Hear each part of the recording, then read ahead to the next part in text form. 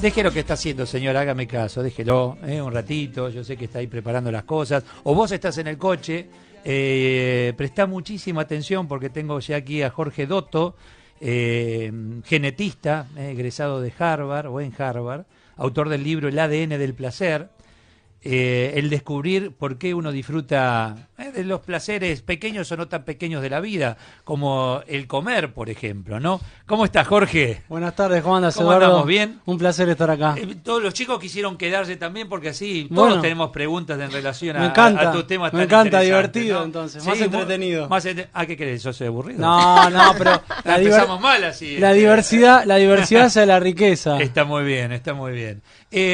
Ayer, y recién se lo contaba a la audiencia, eh, no, el sábado, mejor dicho, vi un documental en Netflix Sí. en relación a la comida. Sí. ¿Lo viste? Hay varios, pero muy Grasas interesantes. y- Sí. ¿Cómo se llama, Nico? What the health. Bueno, eh, grasas y, atención con esto, este con otro, las carnes, viste, Sí. porcina, na, na, na. Sí. Y me, me- asusté, dije, Sí. ¿qué estamos comiendo? Sí. ¿entendés? ¿Cuánto tiene de real todo esto? Vos en un momento decís, Sí. atención con los cinco venenos blancos. Claro.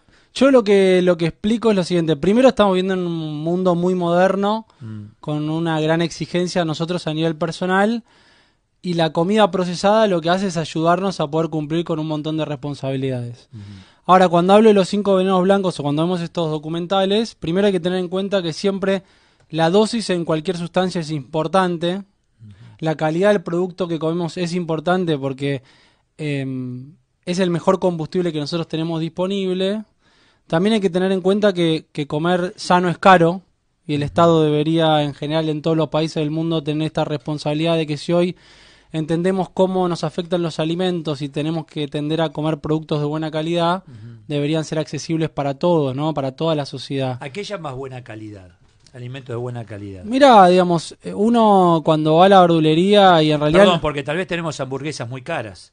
Sí. y no por eso es, es buena. Tal ¿no? cual, digamos. Yo, yo creo que en general acá en la Argentina hay productos de muy buena calidad en, en lo que nosotros consumimos y generalmente cuando tenés alguna persona que viene del exterior siempre te dice acá en Argentina se come muy bien. Sí. Por lo tanto, alguien que viaja por el mundo y entiende esto, y uno sabe cuando es buena calidad en el sentido que, que tiene sabor y que tiene gusto y que, y que además cuando lo estás consumiendo, digamos, eh, te caiga bien. Ahora, ¿hay alimentos que son procesados? Sí.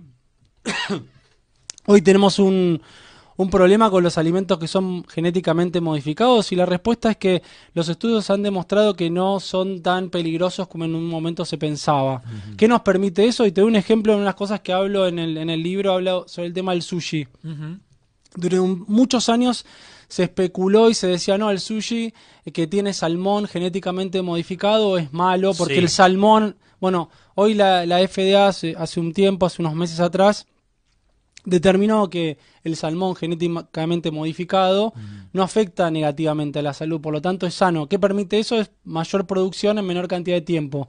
Se activa un gen que participa en la hormona de crecimiento y el salmón crece eh, durante todo el año, porque el Sí. salmón generalmente crece en, en la época cálida de eh, primavera y verano.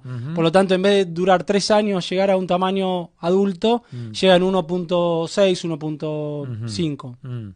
Bueno, eh, esto tomá agua un poquito. Eh, acá eh, después hablan de la leche, qué sé yo, que tiene que ver con la vaca y los derivados y la grasa del queso, etcétera, el otro, ¿viste? Vamos a estar estirando un poquito. Este, todo esto es bueno eh, escuchar a un profesional, porque si bien cada maestrito es su librito, pero bueno, eh, ¿viste? Mira, Eduardo, yo, yo las cosas... Leche tomamos todo desde que nacimos. Las cosas que, las cosas que yo comento no son eh, opiniones personales, sino que son basados en trabajos científicos muy serios Bien. que lo que permiten es tener una idea de cómo estamos viviendo hoy en el mundo, tanto cómo participa la genética, cómo participa la medicina y cómo nosotros tenemos una responsabilidad de informar a la gente, digamos, lo que consume. El tema de la leche me parece interesante porque se estudió que cuando vos tomás leche en cantidad, tiene un efecto negativo. No digo que la leche hace mal por sí cuando tomamos lo que nosotros generalmente la mayor cantidad de gente toma, que es para acompañar el mate cocido, para acompañar el café, para acompañar el té, para, para hacer eso de tomar un cereales.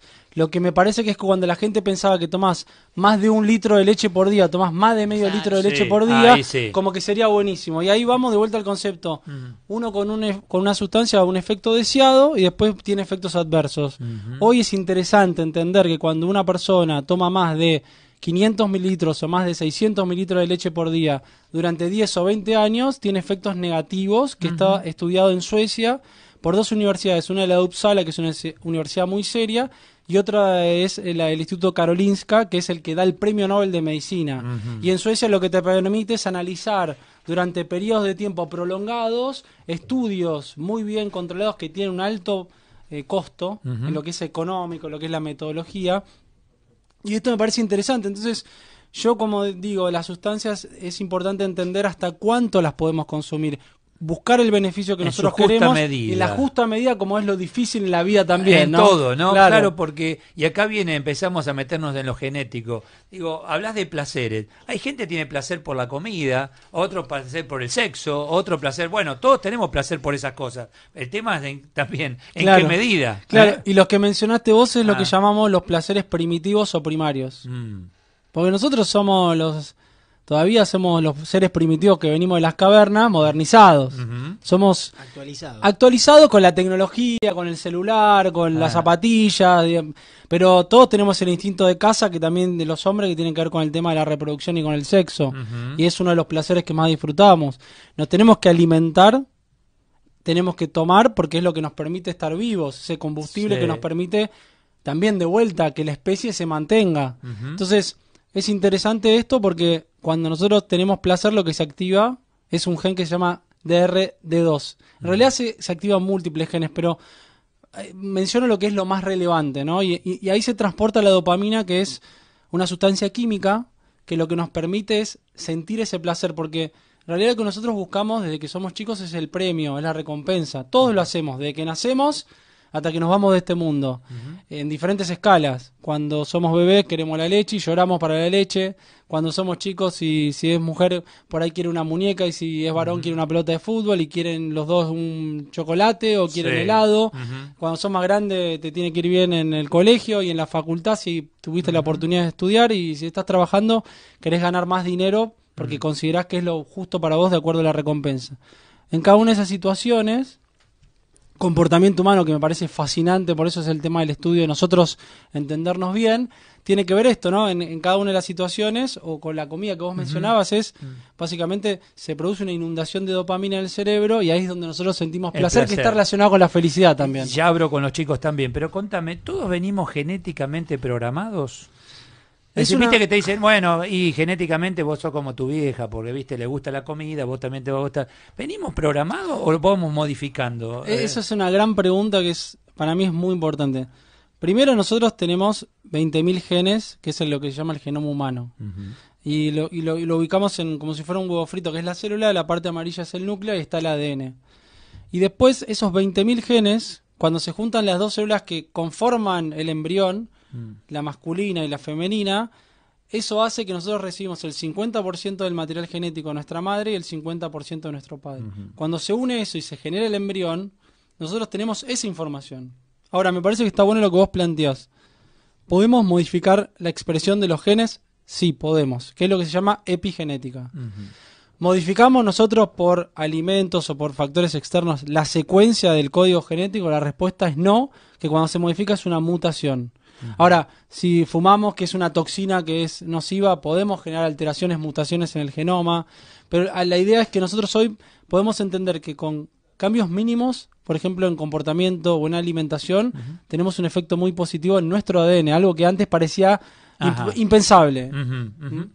¿Nati? Bueno, no, con respecto a esto, eh, me acordaba de, eh, por ejemplo, el caso de Angelina Jolie, que ella eh, decidió, porque le han dicho que tenía en sus genes tendencia a tener eh, un, tipo de enfermedades, y bueno, de- decidió eh, operarse las mamas y Sí. creo que también eh, los ovarios. Digo, ¿esto es siempre así? O sea, si, si uno dice que, o sea, si, si se lo ve a través de estudios, eh, digamos, ¿va a desarrollar esa enfermedad o, puede, o hay una probabilidad? ¿Cómo es eso? Va- Vamos primero a lo conceptual y después vamos a lo particular. Porque Bueno. me parece que está buenísima la pregunta. Primero, nosotros podemos tener la información de nuestros genes y eso lo que nos permite es tener la evaluación de un riesgo, que es como decís vos, tenemos una posibilidad de desarrollarlo.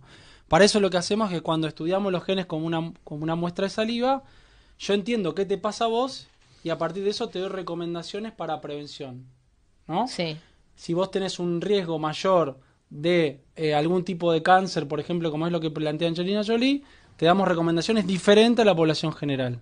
Si vos tenés una, una nutrición diferente, cómo participa tu metabolismo, te podemos dar hoy una dieta personalizada para que vos puedas asimilar bien los nutrientes y comer algo que a vos te haga bien. Vamos de vuelta a O sea que alimentación. si genéticamente vos venís con una enfermedad X, mamá o papá, o de- vos si vas a tiempo, prevención, Claro, podés puede modificar modificar. ese po- posible resultado. Sí. Ah. Ahora vamos a lo de Angelina Jolie, que también Mm. es importante. Que hizo mundialmente este tema y eso es lo interesante porque nos pone en una, en una, pa- en una práctica muy cotidiana. Yo hoy en el consultorio, en la consulta, veo personas, mujeres, que tienen esta problemática. Entonces, ¿qué pasa? Cuando vos tenés la mutación, eh, que de vuelta no es el, el código genético de que hay una alteración de una de las letras, lo interesante es que hoy podemos eh, determinar, en el caso de Angelina Jolie, cómo ella tiene un riesgo de diferentes tipos de, de- de cáncer. Entonces, ella tiene un alto riesgo de desarrollar cáncer de mama, entre un 80 y un 90%, y tiene un alto riesgo de desarrollar cáncer de ovario, entre un 40 y un 60%, depende de las estadísticas en el mundo. ¿Qué es lo que nos permitió ella comunicar? Es, primero hay un tema que es fundamental. La información genética fácil, accesible, es la historia familiar tuya. ¿Qué hizo ella? Ella habló con su mamá, habló con su tía, entendió. Entonces, el concepto para todos los que nos están escuchando es, habla con tu familia, preguntale cuáles son tus antecedentes, entendé qué es lo que te va a pasar a vos genéticamente, o por lo menos qué riesgo tenés, y a partir de eso podés ir a una consulta o hablar. Entonces, ese es el concepto. Comuniquémonos en la familia, hablemos entre nosotros, entendamos qué es lo que nos pasa. Con eso tenemos lo que nosotros cuando viene alguien a hablar, yo le pregunto a una persona todo eso, no solamente de su historia, sino de toda su familia. Entonces ella lo que permitió es, se, sintió- se sentó con los médicos, le explicaron lo que yo le te estoy explicando a vos, y le dieron una recomendación, una indicación médica teniendo en cuenta esto, que es la prevención genética. Y le explicaron cuál es el riesgo y la indicación de que uno debería aconsejarle a una persona que está con este alto riesgo tener una cirugía profiláctica, tanto de mama como de los ovarios. Por supuesto que lo, ideal es hacerlo en dos tiempos, porque también tiene una gran eh, impacto emocional. No es fácil para una mujer llevar estos procesos que tienen Sí. que ver tan, tan importante con lo que es su identidad como mujer, lo que significa tener hoy la posibilidad de, de tener una cirugía que es preventiva, pero también se juegan un montón de factores. Por lo tanto, se hacen dos tiempos como hizo ella, pero no solamente eso, que a, que a su vez se salva su vida, sino que también los hijos tienen que hacer estos test para poder entender cómo vamos a empezar con la prevención de ellos a una edad mucho más temprana. Ahí, eh, ahí Ahí agradece va la- ella la genética, ¿no? Que, que se pueden hacer todos estos estudios. Eh, quien está con nosotros es Jorge Dotto, ¿eh? genetista, eh, autor del libro El ADN del placer. Vamos a seguir hablando con él. eh, hacemos una muy pequeña pausa. Yo recuerdo ADN, no me digas, ácido desexorribonucleico. Desoxi- Desóxido ribonucleico, ¿no? Muy y bien. el ARN, el ácido ribonucleico. Excelente, Eduardo. Secundario hace muchos años. Tenés 10 en el examen, ¿eh? Y no googleé, no, no.